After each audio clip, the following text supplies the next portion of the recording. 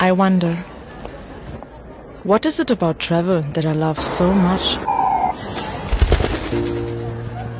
I think it's about discovering the world I live in, about understanding our past, our vibrant history, with its ups and downs.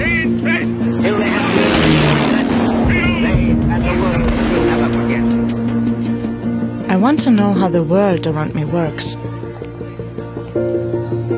How every level fits together.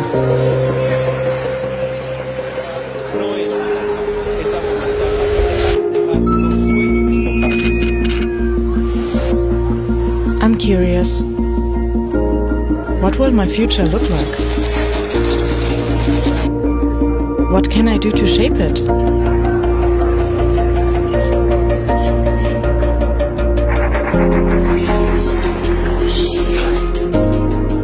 I found my answers here, in Brussels,